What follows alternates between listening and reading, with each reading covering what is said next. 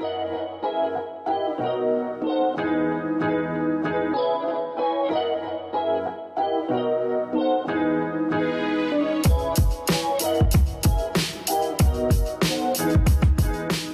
З 1 серпня триває реєстрація електронних кабінетів вступників, і з 13 серпня розпочинається подача електронних заяв вступників у їхніх електронних кабінетах. Після того, як заява буде подана, вона отримає статус зареєстровано в єдиній базі. Після того заява надходить до приймальної комісії університету і отримує один з наступних статусів: це або зареєстровано у закладі вищої освіти, або потребує уточнення вступником. Е, У випадку уточнення вступником вступнику необхідно звернутися у приймальну комісію для уточнення певних розбіжностей, для уточнення певних проблем, які виникають при подачі такої заяви. Досить часто виникає питання, чи зможуть вступники подати свої електронні заяви, якщо в них конкурсний бал нижче ніж 150 балів. Згідно з умовами та правилами прийому, мінімальне значення кількості балів з другого та третього конкурсних предметів має бути не менше 150 балів за спеціальностями медицина, стоматологія та педіатрія. Водночас за спеціальністю фармація конкурсний бал повинен становити не менше 130 балів. Якщо вступник подасть свої, свою заяву з нижче передбаченою кількістю балів, така заява отримує статус відмовлена. При подачі електронної заяви вступником вступник вказує одну з двох опцій: це претендую на місця державного замовлення і у випадку неотримання рекомендацій беру участь в конкурсі на місця за рахунок коштів фізичних та юридичних осіб. Або другий варіант претендую лише на зарахування на місця за рахунок коштів фізичних осіб.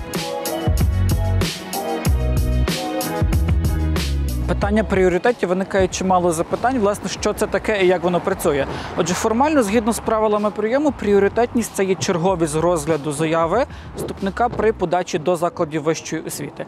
Причому пріоритет один є найвищою пріоритетністю, тобто це означає найбільш бажану спеціальність найбільш бажаному університеті. Якщо вступник не отримує рекомендацію за пріоритетністю один, система автоматично е, надає рекомендацію йому за другою пріоритетністю, третьою і так далі. Тобто, фактично, вступник отримує лише одну рекомендацію на місця державного замовлення. Згідно з правилами прийому, зазначена вступником пріоритетність не може бути змінена протягом вступної кампанії. Якщо ж вступник скасовує свою заяву, він втрачає свою пріоритетність. Однак, якщо приймальна комісія не встигла розглянути зазначену заяву, вступник може повторно подати заяву з такою ж пріоритетністю. З 2020 року при приймальній комісії університету створений освітній центр Крим Україна та Донбас Україна, через який вступники з тимчасово окупованих територій, з території проведення АТО, також тимчасово переселені після 1 січня 2020 року зможуть вступати за так званою спрощеною процедурою, тобто без ЗНО, без атестату, без паспорта.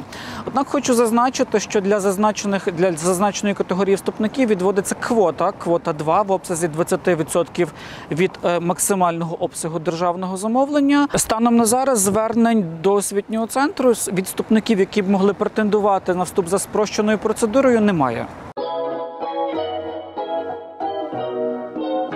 Після того, як вступник подасть заяви і його електронна заявка буде оброблена приймальною комісією, вона буде допущена до участі в конкурсному відборі. Вступники можуть дивитися так звані проміжні рейтингові списки на сайті нашого університету. 27 серпня вступникам будуть надані рекомендації до зарахування на місця державного замовлення, про що вони отримають отримують відповідну інформацію у своєму ж електронному кабінеті. Одночасно будуть оприлюднені списки рекомендованих до зарахування на місця державного замовлення. Вступник може відмовитися від запропонованого місця на місця державного замовлення. В такому випадку ці місця лишаються незаповненими і повертаються державному замовнику.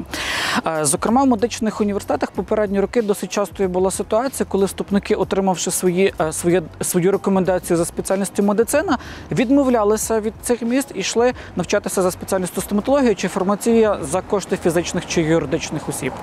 Тому ми радимо вступникам досить так виважено підходити до розставляння своїх пріоритетностей. І якщо ви визначилися своїм фахом і хочете бути стоматологом чи фармацевтом, і не претендуєте е, на зарахування за спеціальністю медицина, е, то дозвольте.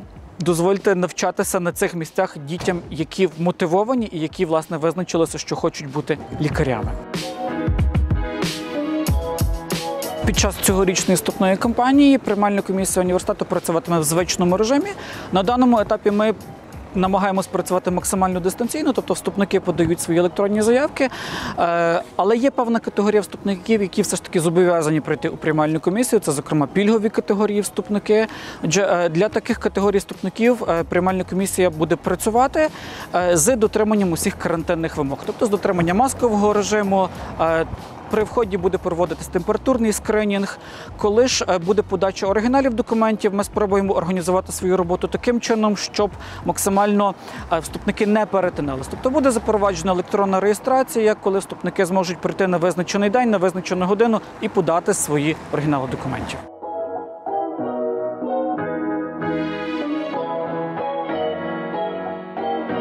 Справді цьогоріч завершення навчального року було досить складним в умовах карантину, в умовах дистанційного завершення навчального року, в умовах перенесення зовнішнього незалежного оцінювання. Я сподіваюся, що вступна кампанія цьогоріч буде відносно легкою. Для вступників вони зроблять свій обдуманий вибір, правильний вибір. Тому бажаємо вам успіхів на цьому етапі вступної кампанії.